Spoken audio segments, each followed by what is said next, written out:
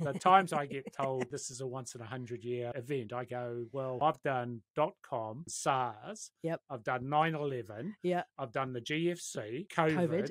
And there'll be Actually, something there's else. a few other. Yeah. Asian, there was an Asian financial crisis Of and course, in yeah. Eastern Europe. So, so almost there is always a crisis Yep. somewhere going on. It may not affect your business, but it's going to be affecting somebody's. So, good morning and welcome to another episode of Better Business, Better Life. Today, I'm joined in studio by Ralph Shale, who is a business growth advisor, particularly focused on high growth businesses. So, welcome to the studio. Thanks very much. Ah, it's really good to have you here. So we've met. I actually can't remember how we met, but we met sort of through I think mutual acquaintances, and we had a bit of a chat, and we share similar philosophies on on the way business should be run, and, and certainly around yeah, creating freedom, doing what you love, etc., etc. So why don't you just tell the listeners a little bit about, about you and where you've come from? Um, yeah, that's a that's a long story, which I'll keep short. um, probably following about fifteen odd years in traditional corporate environments, both um, within banking and uh, on corporate side. I got involved in 2000 with uh, some friends, and we established a business that was looking to help early stage companies raise capital and commercialize. So, the last 22 years has been working with a whole range of New Zealand companies and whether that's raising capital, whether it's helping them with strategic partnerships. Um, we've done some sort of management buyouts and those sorts of things. So very much in the sort of small, um, smaller businesses, early stage businesses, and it's just an area that I'm really fascinated with and really enjoy. So Excellent. So can you give us some examples of, of clients that you've worked with? Yeah, look over the over that time. I mean, I was talking to somebody yesterday, uh, the other week about sort of the success of the New Zealand gaming industry, and I recalled that in the early days, um, you know, Weta Workshop was around and starting. There was a whole lot of um, companies spinning out of, you know, the the Lord of the Rings work and creating new technology. So I go back then. Um, early advisor to Rocket Lab. Um, ah, cool. mainly prior to prior to Peter actually getting some decent funding. Um, but yes, very early stage um, advisor there.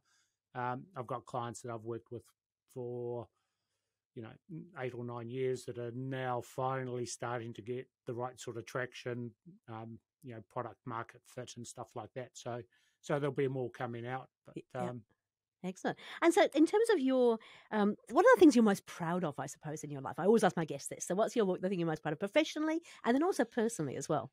Um, yeah, look on the professional side. I mean, there's there's been some um, some successes. I mean, I was uh, early um, employee of um, Bankers Trust in the mid '80s when we set up in New Zealand. Um, that became a very very successful.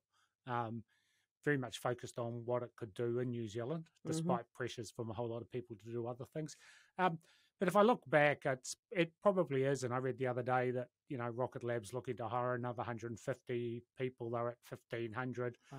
So a lot of my professional satisfaction is actually around the success of of clients. hmm Um, and as I said, I mean, this week, hopefully, touch wood, um, I've got- a client that will raise less than 500,000 in bank funding, but that's a huge success. They've gone from, you know, trying to develop technology, scraping um, around to, to keep in business. hmm Um, and, you know, suddenly they can raise $500,000 from a bank. So they've, Yeah. they've grown up. And um, but but with huge growth potential. So, but they've finally got themselves sorted. So, yeah, a lot of a lot of professional satisfaction is around the achievements of clients. Mhm. Um, on the personal side, that's interesting. Um, today's my twenty fourth wedding anniversary. Oh, yay. Um, which when we booked in, I was I sort of forgotten that bit. oh, Um, no. Are you in trouble? um, well, we, my wife and I are both equally in trouble because um, she also does a lot of consulting and stuff, and so between us, we always end up with one of us having clients that have got issues on. Um, so yeah, twenty four years married, late starter on that, two great kids. Yeah. Um, so yeah, that's probably the on the personal side's the the greatest. Um, and the, in the last twelve months, lost thirty. Well, lost forty kgs and put about 10, 10 of them back on. So That's uh, still a massive achievement. so post Yeah. post Christmas, we'll try and lose the lose the final ten. Oh, that's awesome. Um, uh, out of interest, how did you do that? What was the what was the reason for wanting to, and then how did you actually stick to it? Um, the re- I suppose the reason I just looked at myself one um, probably yeah it was probably two years ago, and it was really in the last year that it's um, and just to put on too much Yep. weight and um, started doing the same stuff that I'd always done, which was cut back alcohol, eat better, more exercise, um, and I've done that time and time again. I, um, the thing that I did differently this time was I started doing meditation Ah, um, and I've stopped doing that as regularly as I should, and that's why the weight's going back on. So, so we'll start doing that again, and I think that just clears the mind, Yep. um, and and helps to sort of focus, de-stress. mhm. Um, so I say was- breathing is like actually really, really important in weight loss, and, and often when you meditate, it's the only time that you're actually paying attention to your breathing. Yeah, look, and I think it is. So, you know, as I say, I've I've done it, tried to do it probably since I was, you know, university and beyond, and um, and this this time it's largely worked. Yep. And I've got to get back into meditation to lose the the final ten kgs. So But still, great, Um, great result. Yeah. yeah, yeah. Cool. Okay, so we're talking about creating freedom today, right? Because that's one of your passions, as is mine. Tell me a little bit about uh, what, what you mean by that. What does freedom mean to you? Um, I suppose for me personally, it's um, and and it was an interesting comment when I first met, met my wife, and I was a finance person, and she was sort of in the communications, and um, and I talked opposites about attract, is that right? yeah, well, yeah, a bit of that. Um, I talked about having money, but not from a point of view of wealth, but from the ability that that gives you the choice to do things. Mm, So for me, creating freedom is creating, you know, uh, an environment where you can actually have choices, where you have options. Hmm. And so, probably using a fin- finance term, you have the option around doing something, so you can make decisions without having to go, "Can I afford it?" And Hmm. and and working with, you know, a lot of early stage companies, cash is always the the issue. Yep. So you sort of sit there and go, "Should we do this?" They go, "We'd love to." but how do we fund it or how do we finance it or you know so so for me creating freedom is is around having an environment where you've got choices mhm. um so and that might be personal choices that might be financial choices that might be anything so um and and obviously what freedom means for every individual is totally different so Yeah. that's one of the things um so I recently joined the CFO Centre Mhm. which is a um, global um, firm of corporate CFOs who have decided to sort of work in the SME space. Yep. And that's one of the key things that they focus on is what do the owners actually want from the business? And they talk about the numbers that matter. And we're not talking sales or profit. We're going, what is it that really matters? So it could be for an owner that they want to work three days a week. Yep. So you're sitting there going, you're probably working seven. How do we create a business environment that allows you to get to working three days a week? Or, um, you know, client testimonials. One said that the number that mattered to this person was two. And it was the number of birthdays that she'd missed with her kids because she was busy. So, of course, Right. that was the motivation was how do I make sure that I'm not missing birthdays because I'm having to work. So, mm-hmm. No, that's fair enough. And so, CFO, the CFO Centre, it's an interesting thing, isn't it? Because you're not necessarily a full time CFO for these companies. You are uh, what I would call a fractional CFO, which means you're doing a, a, a period of time with each company that you work with. How does that work? Um, yeah, look, it's it's um, it's exactly that. So it is not a permanent Mhm. um, role. Um, um, we call them part-time CFOs, and Yep. interesting in induction that was discussed. But this was sort of a company set up 21 years ago where fractionalized roles didn't, Didn't exist. exist, so, yeah. so they have created. And to be this. fair, it's still it's still reasonably new in New Zealand. I think. I mean, in America, we talk about a lot, right? So we talk about fractional integrators, fractional CFOs, fractional. You know, we we, we understand that you don't actually need the old model of having somebody full time in a role for those higher, more specialized roles. You're actually better to have somebody who is super skilled in that area and an expert in that area, but working for a shorter period of time. Yeah. So so the, the and that's exactly it so this is- these are probably i'm the exception but but most of them have come out of larger corporates so they've got that discipline they are cfos and they're not it's not an accountant that's trying to to take that next step so our focus is very much at that very strategic end of the business. Yep. Overseeing getting the, the the base right, but very much focused at the top end. So for a lot of companies, um, they don't need somebody doing that role full time. Yeah. Um, so they might be still growing. Um, and they need somebody to fill that role, whether it's one day a week, two days a week, whatever it is, just somebody who'll come in and have that that oversight. Yep. Um, it might be that over time that role grows. Um, and in fact, part of our success would be that we do ourselves out of a job Right. because you get to a point where they sit there and go, We've grown big enough, we actually need somebody full time to be filling this role. And then we would step out of the business and bring somebody in to do that Mm. um, full time. So it And I- is that sorry, it is Yeah. that level of it is that level of next level of expertise and and and um, capability. Yeah, I was going to say my experience working with mid-sized businesses is often that they they'll have a full-time. I'm going to say accounts person, but they're trying to be a bookkeeper, an accountant, a financial management accountant, and nobody can be all of that, right? They're, they're, they're quite specialized roles. And if you've got somebody who is particularly good at sort of bookkeeping and the lower end of stuff, they're probably not strategic in the way that they actually think and the way they manage finances. Yeah. So bringing in a CFO or fractional CFO gives you the ability to tap into that expertise um, around the strategic financial decision making rather than the day to day bookkeeping and accounts. Is that fair? Yeah, look, I think that's um, each client's going to have a slightly different requirement. Yep. Um, and um, so, yeah, look, the first client I've got's got exactly that. They've got their own finance team. Yep. Um, and they outsource to, they use a big top tier, uh, top six accounting firm for tax and doing a lot of that stuff. Mhm. And it's just that it's um, it's rapidly growing. So the issue becomes around how do we fund this? They've got um, some smart IP they've developed. So the question becomes how do we actually commercialize that outside of our current market? So so there's lots of you know quite strong strategic issues that that need to be brought in. So.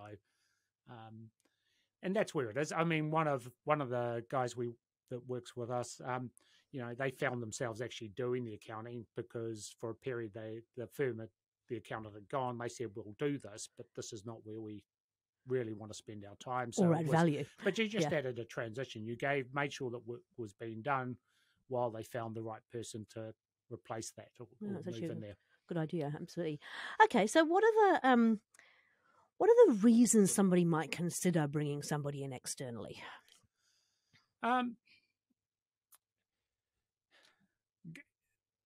it it again it will vary. I mean, uh, it's interesting. I think uh, both locally and and around the world, quite often there'll be a problem. They'll hit a cash flow issue, or um, and we're about to face it. The bank will start to ask them questions, and and they want somebody sort of to come in with a higher skill base and an external view. Yep. Um, or they're sitting there and they are growing and they're going, we just need to accept. Um, or you've got a founder who's decided that they may want to transition out of the business. And so they're sort of sitting there going, we've got three years, we're wanting to exit. And then you go through the whole, you've got to get everything into shape. You want to make sure this is presented pro- properly and you want to work through that sort of plan. hmm Um, I think probably a lot of times it will be crisis or problem led. Yep. Um, and then we would go in, we'd try and sort out how we fix that problem. We'd make sure the, the, the foundations are in place. And then through that relationship, hopefully, then start to build the how can we help you in a sort of longer term basis to really focus on those those areas that matter. hmm Um, and, and and I suppose others, um, you know, we, others that we'll, we'll see as they grow, they just need some additional resources. So you might have investors who go, look, we need somebody in here who can provide that strategy, but we don't need to be paying somebody full time. Yep. Um, yeah. Okay. And what are some of the biggest pitfalls um, or the biggest challenges that you see um, clients have that they you know come to you with? um, I, yeah, I- where I'm at, and I think we're most, it, it, it will come around cash flow and Yep. funding, and um, um, because that's the one that really gets people to, you know, suddenly when you're sitting there going, I can't make payroll, hmm you go, I've got an issue. And it's actually really surprising. Um, and what what a lot of people don't realize is that actually very successful companies that are growing very quickly will often run into cash flow problems. Yes. Because, you know, you've you've got more working capital, so you've got more stock, you've got greater debtors, you've got um, more assets deployed and stuff. So yeah, so cash flow isn't necessarily a negative thing, and it isn't necessarily that the company hasn't been run well. It actually can be a, a side effect of massive growth. Yes, and and of course what we've what we've got happening now in the economy is obviously um, COVID um, creates a whole lot of issues, but you know, we're talking about recessions. We're talking about um, there's no doubt that some of the banks are tightening what they're lending. Um, mm-hmm. You know, for a lot of SMEs, the banks will be looking at, you know, the house or the mortgage and and all of those sorts of things to fund. So, so cash flow is going to become a a problem Mhm. um, for a lot of businesses. Um, and actually, if we go back and you know we, you know, I'm old enough to have lived through a number of cycles, but but for a lot of um, companies, you know, the last real heavy recession was probably 2008. Yep.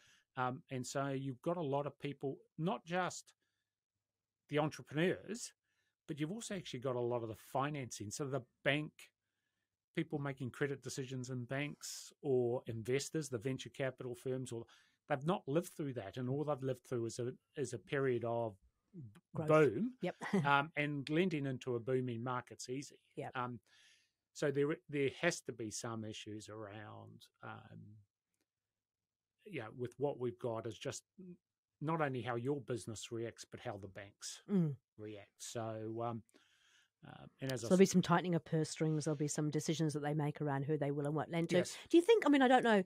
I also lived through a few, a few couple of recessions myself, but I mean, in terms of the the, the supposed upcoming recession, do you think that there will be um, some banks who will actually start pulling things back and saying we we want that repaid, or why do, where do you think it's going to head? Um, well, I think I think there's no doubt that some of the banks have um, pulled back, as the, the the party that we've just got funded through one of the banks. I mean, they've actually said that they had done deals earlier in the year that probably now they wouldn't be doing. So Um, that affects the new stuff. yeah. Yep. So that pulls back. Um, I'd be very surprised.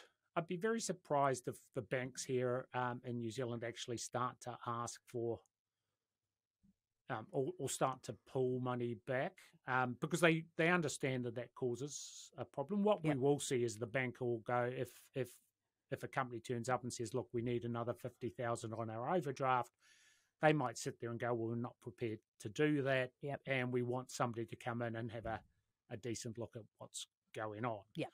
Um, and and that's probably where, ideally, if you're in that or you think you're in that situation, having somebody on board before you go and talk to the bank, so you can sit there and go, "Look, we need fifty thousand, but here's the steps we're taking to free up cash and get get the business sustainable, or to or to just present it Yeah. as a very sustainable business." Um, that's probably be, better being done ahead of talking to the banks Yep. um, rather than talking to the bank and the bank then saying, "Well, actually, we want you to to, to go and do this." Yeah, yeah. So, And it's, it's it's kind of true, isn't it? You've always got to be thinking about these things way before you actually need them, because if you leave it till the last minute, um, then you're going to run into some issues. So, in general terms, I mean, let's just say uh, businesses listening in, they're going, "Hey, look, we know we're going to see some potential cash flow issues coming up in the next six months. When would you suggest is the best time to actually start thinking about?" Um, you know, getting things ready for a bank. Is it more than six, Six- months? six months ago. okay, good. Yeah. no, look, the sooner you start to it, the sooner you start to re- address it, the and back to the sort of freedom, the more options you give Yeah. yourself, the more ability you have to have a look at different ways of funding it. To you know, if you're talking to the bank, you go, look, we're going to put in place some strategies. This is, you know, what actions can we take? Yep. So, are there some things that we can go? Hey, we can do a couple of months of X Mhm. which hopefully will show that it's working. Yep. So when we go to the bank, we go, look, two months ago we implemented this strategy and we've seen some improvements. So, you know, we can project that forward Mhm. to say this is what it's going to look like going forward, as opposed to this is what it looked like historically. Um, yeah, it's all of those things. It's looking at different funding options. Yeah. Um, so there's a lots of, and that's that's probably, um, and I'll defend the banks to a degree. I've been approached by a lot of companies who go, We've talked to the banks and they won't lend us money. And you go, Well, actually, it's not their job to lend you money where you are. You're, you know, by talking to the banks, you're talking to the wrong person. Yep. So this is no different to, you know, marketing. if you're a small SME selling, um, you know, uh, widgets to small customers. Yeah. You know, you know that if you're going to go and knock on um, you know, Fonterra's door, they're likely to say no thanks. Mm-hmm. You know, you've got to identify who your target market is. So when you're raising debt or equity, you are in the business of business to business selling, but your product is your company, Mm-hmm. not your product. Yep. So it's one of those things. Identify who the likely investors are, Yep. who the right investors are, and spend your time, you know, talking to them and present in the way that they would understand. Yep. Um, so a lot of times can be spent chasing the, The impossible. investor. Yeah. And and and yes, you're you're right. It's impossible. They're Yep. not they're not going to invest. Mhm. Um, and um, so you can waste a lot of time. So it's a really interesting one, isn't it? Because I mean, people always naturally fall to the bank. I mean, that's the the obvious choice. But there are many, many different options out there, depending what you're trying to do. You know, you've got venture capitalists, you've got um, potentially early stage angel investors, you've got um, second tier lending firms. Like, what are the other options out there? Um, Asset finance. yeah, yeah, look, you've got asset financing, you've got debtor financing, um, you've got um, the ability to lease as opposed to to buying Mhm. assets. Um, you can look at, you know, one of the options if you if you really are is is looking at better terms with your customers, get them to pay sooner. Mm. Um, try and stretch out your creditors, pay them on longer terms. Um, yeah, angel investing, venture capital, um, private equity. There's there's there's lots of options. I mean, the challenge for the the challenge for true sort of SMEs Yep. are those that there aren't a lot of options. no. Um, and if we look at, and a lot of people will talk about venture capital, but if you're talking pure venture capital, they invest in absolute game changers. So if you aren't, and that's You've got to have runs on the board. You've got to be show that you're a sustainable business and that you have the ability to 10, 10x pretty much. yeah, yeah, yeah. They, and and that's their business model. Now Yeah. the angel network's slightly different. Um, there's also sort of family offices, and there are other investors around. But Mhm. um, yeah, it's not it's not easy. Um, I, I was sort of thinking that um, you know prior to um, you know, so when, when I worked for the bank, we advised a company on buying, doing the management buyout. Um, and they did some really interesting things. Once they owned the company, the the cars got leased. Yep. They were big enough that their couple of their core suppliers, they were able to say, well, you know, deliver this stuff to our warehouse, but we'll tell you when we've used it Okay. and then we'll pay you 30 days after we've used it. Hmm. So that freed up a lot of, they had a lot of stock. Yep. Um, but they were big enough that the suppliers suddenly went, well, you know, if these guys walk away from us, we're in a bit of trouble. hmm Um, and very quickly freed up quite a lot of of capital. I mean, it was interesting when we bought it. We were, of course, telling the um, offshore owners that we had to replace a piece of machinery because it wasn't fully functioning. Reality was that um, it was a printer, and it was a six color printer, and it was re- only printing five colors. So we said it'll have to be replaced. So of course that got factored into the purchase price. Reality was they never printed more than four colors on it. So so um, yeah. so so there are ways to to free up cash. Yep. Um, a lot of it could be just collecting debtors faster, um, you know, stretching credit terms. Yeah, Excuse my dog. That's the dogs, yeah, That's the dogs. Yeah, they're always joining in. Somebody's coming that I didn't like. That's all good. Um, uh, yeah. Okay. So I think it comes back to the, the. I think this is what we talked about before the podcast. It's like actually it's about being really clear on what your planets, is, isn't it? And knowing what you've got coming up in the future and being prepared for that, so you can then start to look for um, the the things that will help you to achieve that vision that you've got. yeah, yeah. Look, it's it's. Um, and it's interesting again this the, the CFO centre and then uh, aligned when we sat down and I went through EOS with you. I sat there and thought, this, Perfect. the, these are there's an overlap, but most of it's a, a fit. Um, trying to change when you're in crisis, you you get into crisis mode, and then you do stuff to survive. Mhm. Um, obviously, from my point of view, as a as a founder of a business or an owner of the business, um, it's the big picture stuff. Is what do you want out of the business, Mhm. and then starting to understand um, what that is. And it's as I've said before, it's not necessarily purely financial. It's about personal ambitions and and, and bits and pieces and what's driving you. Yeah. And and for most really successful entrepreneurs, it's not about money per se. Yep.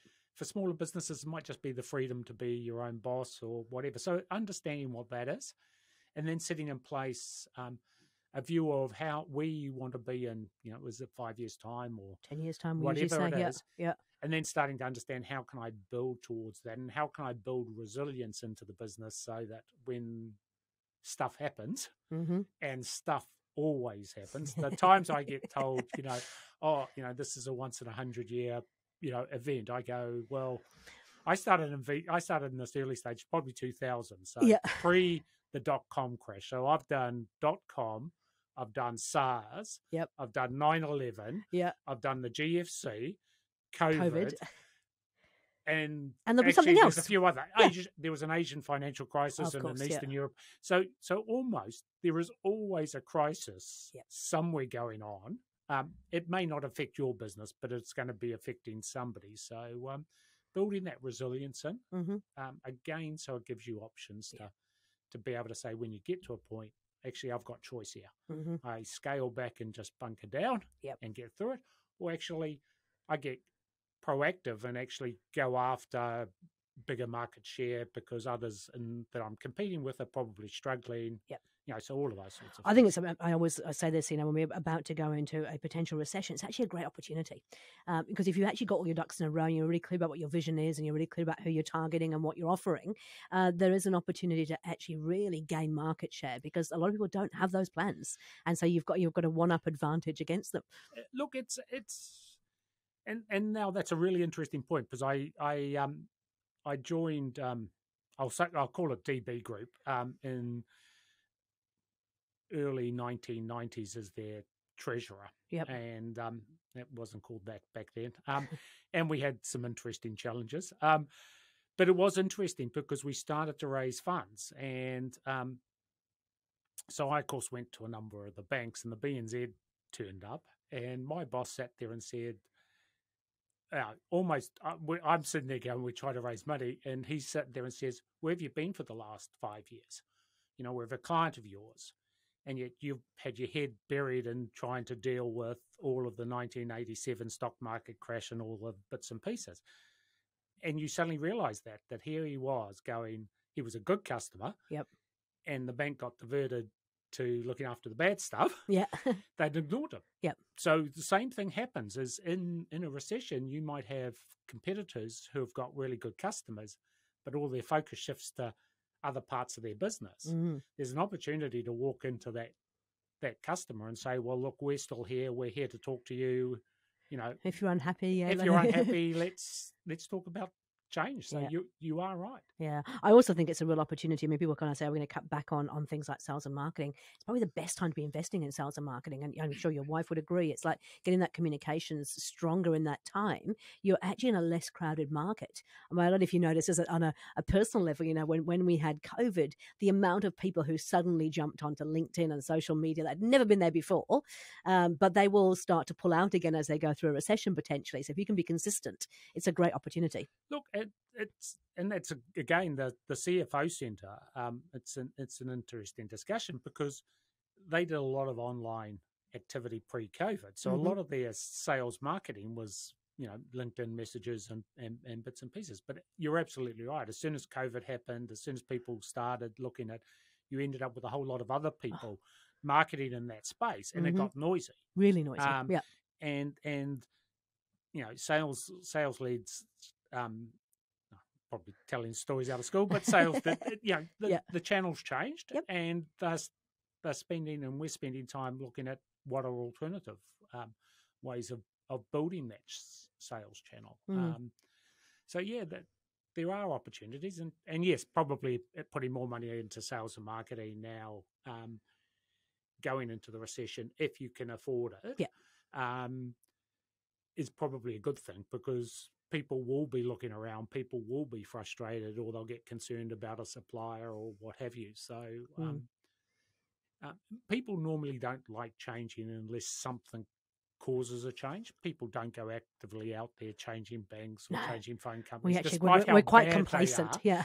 Um, so when there is a disruption, hmm there will be a bunch of people out there for whatever reason will start to actually look around when historically they probably wouldn't. Yeah. So yeah, no real opportunities.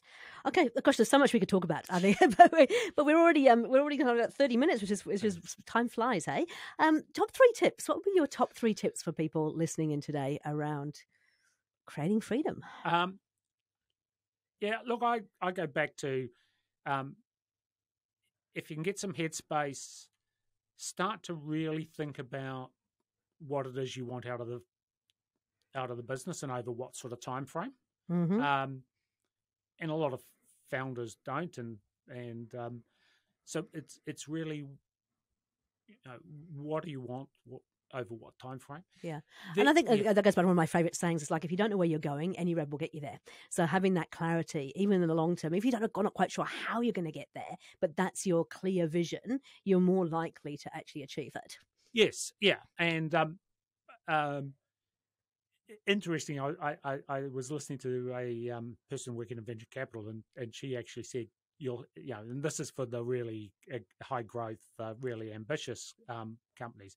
You'll probably have a, a goal that you actually will never achieve, but you've got to sit there and go, I'm changing the world. Yeah. and then you then you work out what the next sort of steps are. So you break it break it down, but but clearly understanding what you your family and others um, and if you've got multiple shareholders Mm-hmm. trying to make sure that you're sort of aligned Yep. on what people want out of it or at least understand that you know jane wants to stay in the business for 15 years and you only want to be there five so can we build a plan around how we can transition um, hmm so understand that.